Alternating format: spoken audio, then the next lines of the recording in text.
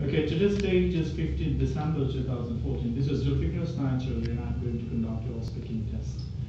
Uh, today's test uh, number is 201413. First of all, to help you feel comfortable, I'd like to ask you some familiar questions. Can you first tell me your full official name? My full official name is Saida Adiba Arif, as it appears in my passport and other official documents. Uh, what name do you want me to call you? I prefer being called Adiba. Okay, Ms. Adiba. Where are you from? I am from Chittagong, Bangladesh, and I live in a small neighborhood. It's a city area. It's called Koshi. Right. It's like about five minutes right from here. Okay. Are you a student or you're doing a job? I am a student, but I'm also doing a part-time job. Okay. What is the job about? I teach at a coaching center, like I teach kids from grade six to seven. Right. Where is that located? It's located in Muradpur. It's about, uh, if you go south, it's about, if you take the shortcut, it's going to be about 15 minutes from here. Right. Why did you choose uh, this teaching job? I think personally teaching is a very good job because it's not just helping the student, it's also helping yourself. When you're teaching students, you're covering, you're redoing your basics again. Like I said, I'm teaching juniors. So when I'm doing that, uh, I'm actually, I discovered that a lot of things that maybe I was a kid and I was too unsure about that back then, but now since I've studied elaborately about it, it's much easier for me. Also, well, we can't forget the most obvious reason of choosing this profession is actually helping the students. I think that I connect to the students and when I see their eyes spark when they know something, it actually gives me tremendous joy. Do you think you will ever change this job? It is just a part-time job, yes, I hmm. will change it. Okay. Let's talk about your school days. What were the good parts and bad parts about your school days? The good parts about the school days is indisputably my friends. We have a lot of moments together. We have huge days and tiring days that we spent together and we went on different programs. Like my school would take us to different competitions outside the city and we had to live there together for five, six days. I went to basket, basketball tournaments and debate competitions with them and those were one of the highlights of um, my school life. And I really can't believe I'm going to say this, but the teachers were also a very fun part of my uh, educational school life. Good. What was your favorite subject at school? My favorite subject is and was in school physics. It was always physics. What? I think I was particularly good at physics all my life, and I like it. I like that in physics you can actually have two, you can go two ways. There are theoretical applications and practical applications. And I am particularly interested in the practical applications, which is why I always excel in the practical field. And I think that physics can actually help you know a lot of things that you can't with other subjects particularly. So Okay. How did your school teach sports?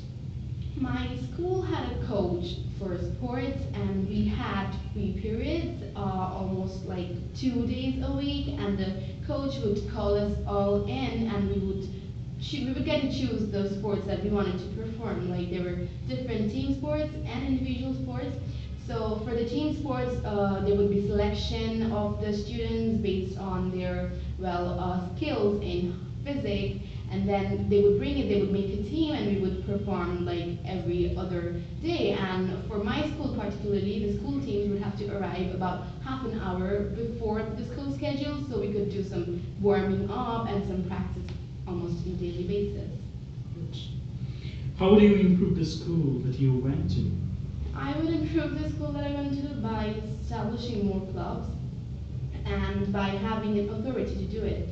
Well, mostly in my school, the clubs that we had, it was a student-based club, and even though it did promote student leadership, but there were sometimes a lot of complications to no, well, a superior figure being there involved, which was mismanagement or authority disobedience and things like that. So I think the clubs need a senior teacher to monitor it. Good. Let's talk about rivers. What kinds of things are rivers used for in your country? In my country, which is a riverine country, and it has a lot of rivers, it almost crisscrosses the entire map. Rivers have a lot of uses, actually, especially uh, for transport.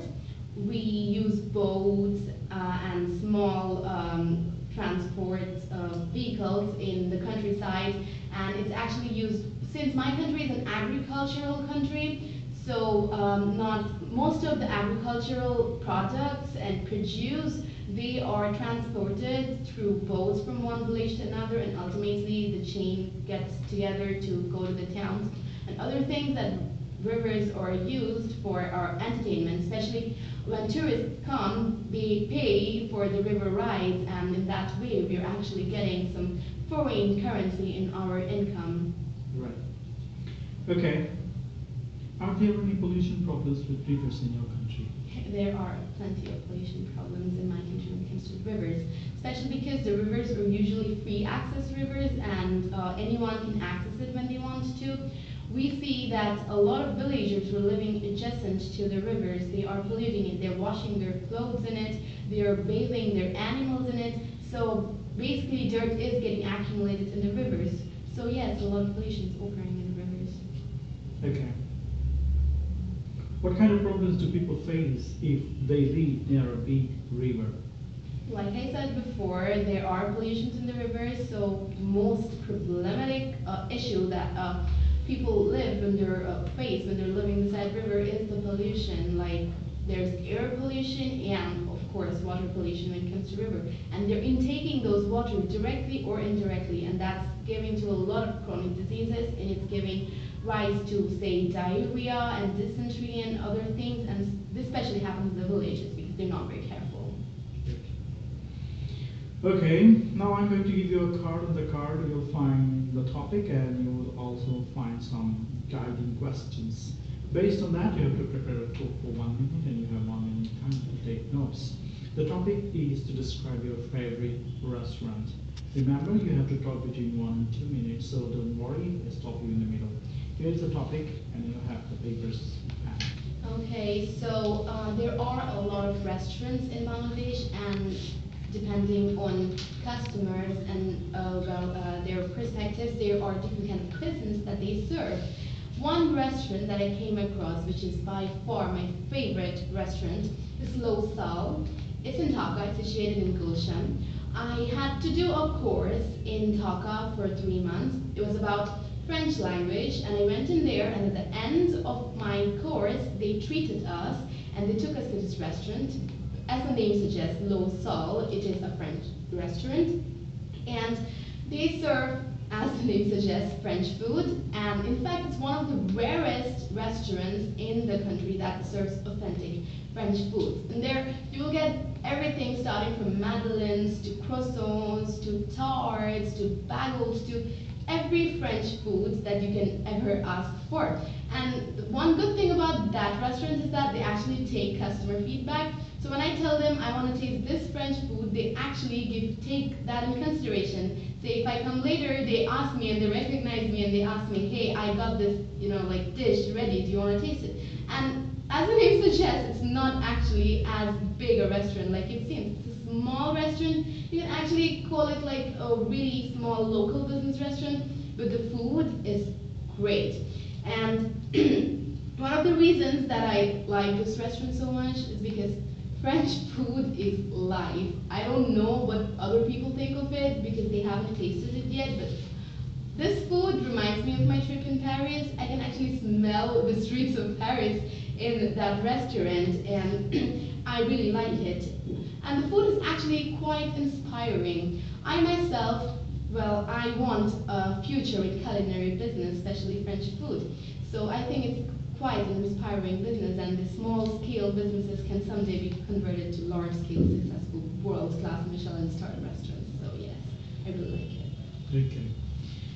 Thank you very much. Now I'm going to the section three, the two-way discussion part. First of all, we would like to have a discussion on fast food. Is fast food popular in your country? Yes, fast food is really popular in my country, especially if you compare it to how popular it was a few years ago. It is increasing in popularity almost tremendously. Why? Maybe because people are very busy nowadays, and as the name suggests, fast food is actually fast. You go to a restaurant and you get it available really soon, and you don't have to invest extra hours at your place to actually make that food. And it is quite cheap. Fast food is actually cheaper than other restaurant food, and it takes much less time to prepare it. And people have a thing for bad things. so yeah, junk food it appeals a lot of people. Why has fast food become so popular over the last 30 years? 30 years ago, I guess people were much less busy than they are right now, and women were less empowered than they are right now. So typically, women were just expected to get married and they were expected to stay in the kitchen and cook all the food. But now, even my mom or uh, my friends' moms or most of the people, most of the ladies, they work that outside their homes too. So they don't have much time to invest on food, which is why their daughters or sons like us, we go outside for fast food because it's the faster way and I don't have to invest much time in the kitchen. Could you compare fast food with traditional meals? Yeah, fast food can be comparable to traditional meal, and that by that I mean that um, there are many differences.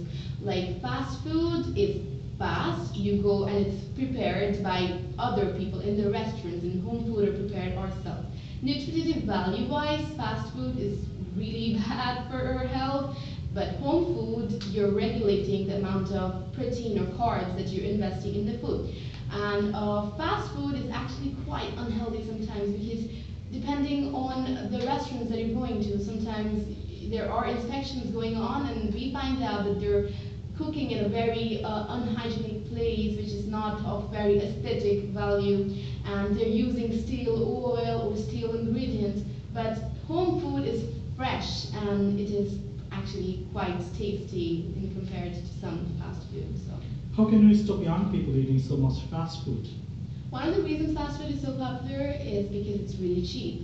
It's cheaper than other foods, and I think if you increase the price of fast food, young people will try and get ingredients from local stores and make it themselves. Or you could, uh, well, people could do um, introductory, say, a two-week course on um, cooking their own food at schools, and they could do it like once every year. They could bring other organizers to do it.